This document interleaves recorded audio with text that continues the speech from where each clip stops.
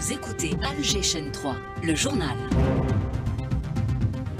Une édition préparée et présentée par Walid Selman. Bonjour. Bonjour Hakim Bey, mesdames, messieurs, bonjour. Et au sommaire de la matinale de ce dimanche 25 août, situation tendue au Proche-Orient. Le Hezbollah libanais annonce lancer une attaque d'ampleur contre l'entité sioniste qui décrète l'état d'urgence sur tout le territoire. Pour 48 heures, plusieurs raids menés ce matin contre le Liban par l'armée d'occupation sioniste ont causé d'importants dégâts.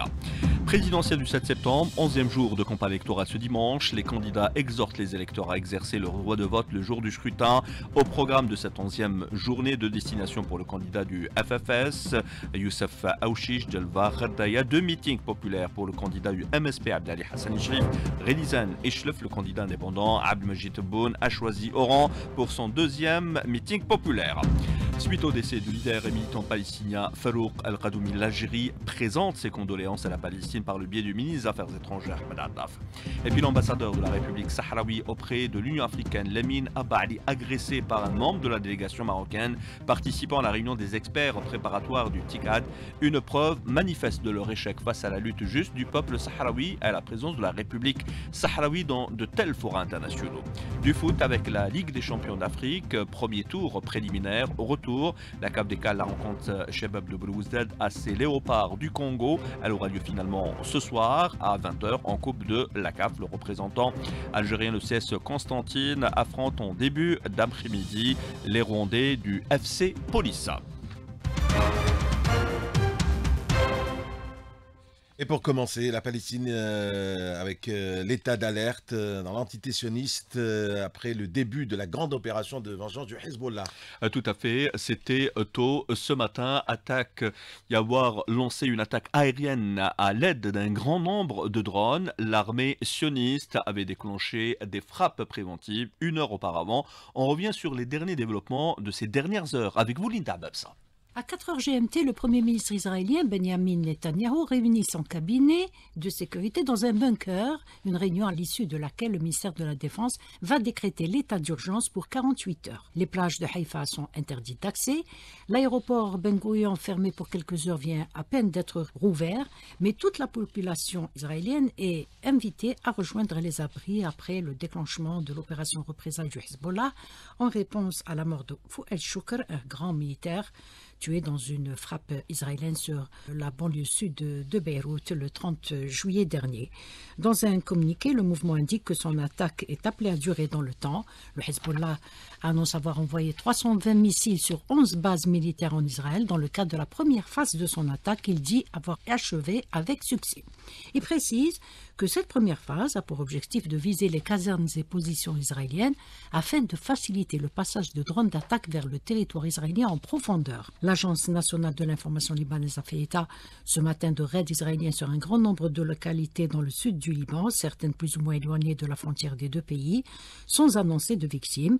Pour la précision, le Hezbollah a averti qu'Israël serait sévèrement puni s'il portait atteinte aux civils au Liban. Le Hezbollah qui a annoncé avoir terminé, vous le disiez, son attaque pour la journée d'aujourd'hui, après avoir lancé un grand nombre de drones et plus de 320 roquettes Katyusha sur 11 bases militaires sionistes et sur le Golan syrien occupé par l'entité sioniste. L'armée sioniste qui a annoncé pour sa part ce matin qu'une centaine de ses avions avaient visé et détruit des milliers de rampes de lancement de roquettes du Hezbollah. Nous restons en- dans la région. euh, Suite au décès du leader et militant palestinien Farouk al-Qadoumi, l'Algérie a présenté ses condoléances à la Palestine par le biais du ministre des Affaires étrangères Ahmed Attaf. Actualité chez nous, marquée par la présidentielle du 7 septembre prochain, 11e jour de campagne électorale ce dimanche. Le candidat du FFS, Youssef Aouchiche, a choisi la région, la région d'Agra dans le village de Rjaya, pardon. Après Constantine, le candidat indépendant Abdelmajid Tebboune animera son deuxième meeting populaire aujourd'hui à Oran. Deux escales pour le candidat du MSP, Abdelali Hassani Sherif, Relizan Eshlef, pour les partis soutenant le candidat indépendant Abdelmajid Tebboune, FLN a choisi Annaba. Elbina se rendra à Buira, Tej est annoncé à l'Ulma, pas d'activité pour le RND ce dimanche. L'intégrité territoriale, la souveraineté nationale, les grandes questions économiques et par ricochet, le pouvoir d'achat, la justice sociale, autant de thèmes qui ont dominé les discours des candidats et de leurs représentants. Le contexte justement dans lequel se déroule la campagne électorale, ses caractéristiques, ce qui la distingue des campagnes précédentes, ont été abordés hier lors de l'émission Débat politique du samedi animée par Souilach Hassan Qassimi, expert en questions géostratégiques, a relevé le consensus des trois candidats en 10 sur les questions nationales de souveraineté.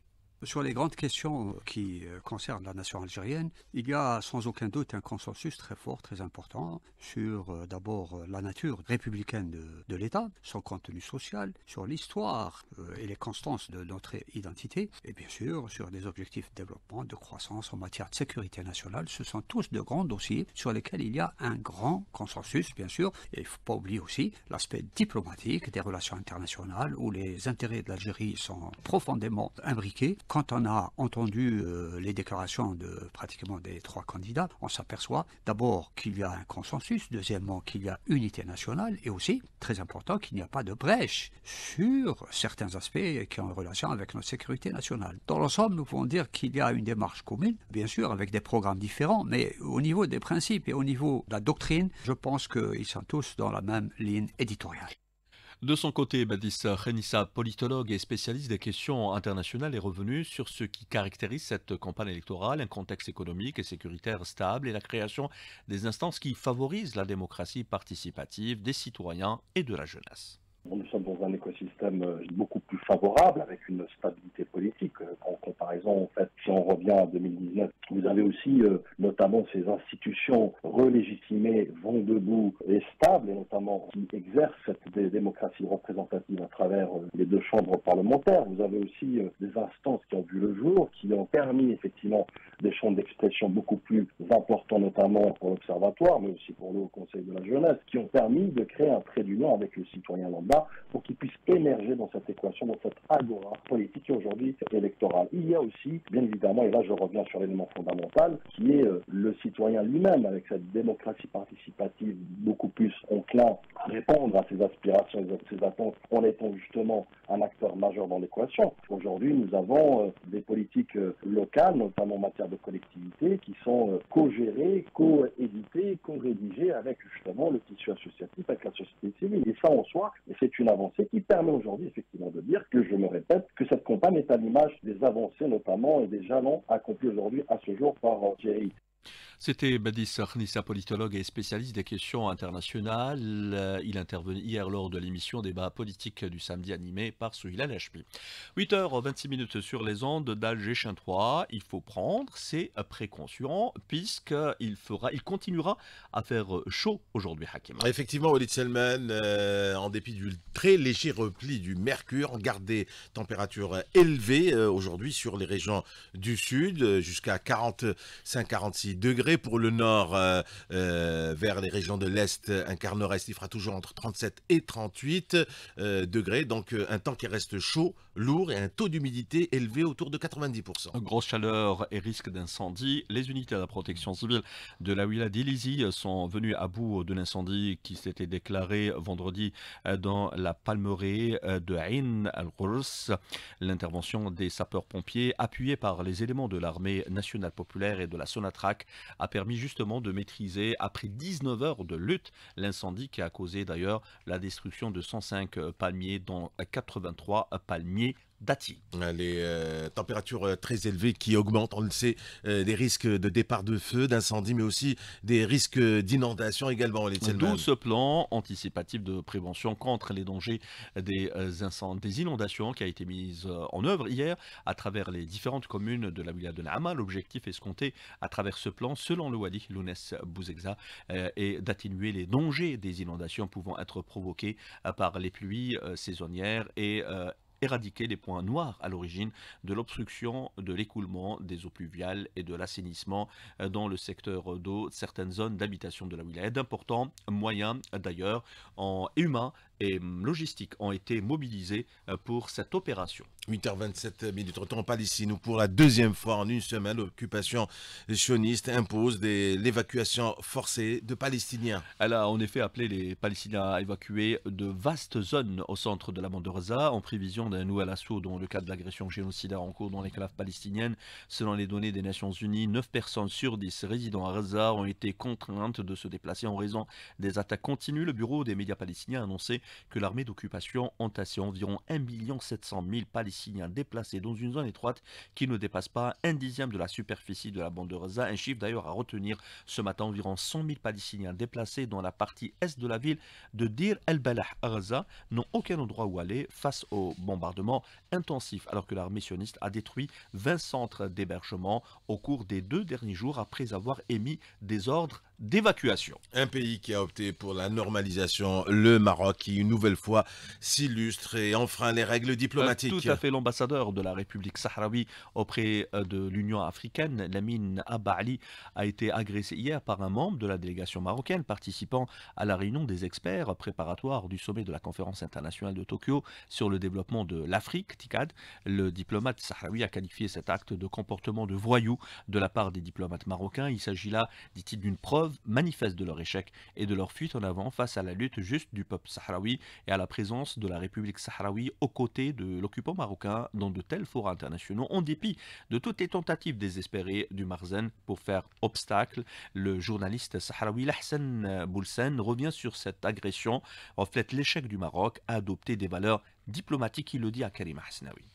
Ce comportement reflète l'échec de Maroc à adopter des valeurs diplomatiques en mis en évidence son recours à la violence et à la tromperie pour atteindre ses objectifs politiques. En revanche, la cause sahraoui a remporté une victoire car la République sahraoui a confirmé sa présence à la réunion, renforçant ainsi sa position et mettant en lumière l'échec de Maroc à l'exclure. La communauté internationale était témoin de cet incident, ce qui nie à la réputation de Maroc et renforce une image négative de sa diplomatie. Au même temps, on sait, renforce la position de la République arabe sahraoui démocratique. C'était le journaliste sahraoui Hassan euh, Boulsen. Euh, il, euh, il était contacté par Karima Hasnaoui.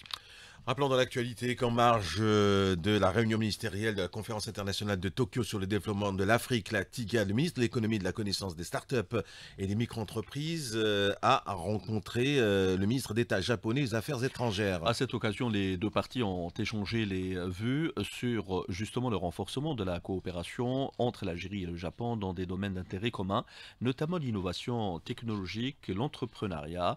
Les deux ministres ont souligné l'importance de renforcer et les relations bilatérales en faveur du développement du continent africain. Avec les fortes chaleurs euh, et euh, cette météo estivale, on profite encore des vacances, mais sans oublier la rentrée scolaire parce qu'il faut y penser et se préparer. D'ailleurs, il faut le rappeler, en moins 182 marchés de proximité ont été euh, mis en place pour la vente de fournitures scolaires. Ils seront ouverts à l'échelle nationale à l'occasion de la rentrée scolaire pour limiter les intermédiaires, lutter contre la spéculation, assurer la vente directe des articles scolaires aux citoyens à des prix euh, raisonnables. Justement, Maïssa Smail a fait un tour hier euh, dans la capitale. Elle est revenue avec ce reportage. Les vacances touchent à leur fin, synonyme de reprise pour les élèves des trois paliers. Qui dit reprise dit tablier neuf. Ils sont déjà affichés au niveau de beaucoup de commerces à Alger. même les commerçants راهم يبيعوا فيها وسيب كاين كلش كاين même تاع عوايج تاع دراري راهم دوكا باسكو بزاف ناس يحبوا يوجدوا على فونس قبل باش ما يلحقوش مع الغاشي سورتو اليامات الاولى تاع الدخله تاع المسيت وسورتو هذوك الناس اللي هم فاكونس اور ولايه ماذا بيهم يشروا De nombreux parents anticipent et ont déjà commencé les achats des fournitures et articles scolaires. بدينا نحضروا لا رونتري لي تابليي لي كارتابل لي زافير سكولير شري برك لي كايي لي كريون لي كولور نحي برك لي ليفر جيت باش نشري لي زافير تاع الدخله تاع المسيد والطابليه خرجنا لالجي باش نشوفوا لي زافير سكولير لي كارتابل لي تابليي Pour rappel, le ministère du Commerce a annoncé l'ouverture progressive de 182 marchés de proximité pour la vente de fournitures scolaires à l'échelle nationale afin d'assurer une vente directe à des prix raisonnables. Du sport pour euh, terminer, football, match retour euh, du tour préliminaire de la Ligue des champions d'Afrique de football, Shabab de Bluesdad, reçoit euh, ce dimanche à partir de 20h la Léopard du Congo. Et puis en coupe de la CAF, le représentant algérien, le CS Constantine, recevra quant à lui en début d'après-midi les Rwandais du FC Police. C'était là la dernière information de cette édition réalisée par Issa Abdelrahman. Merci à vous de nous avoir prêté attention.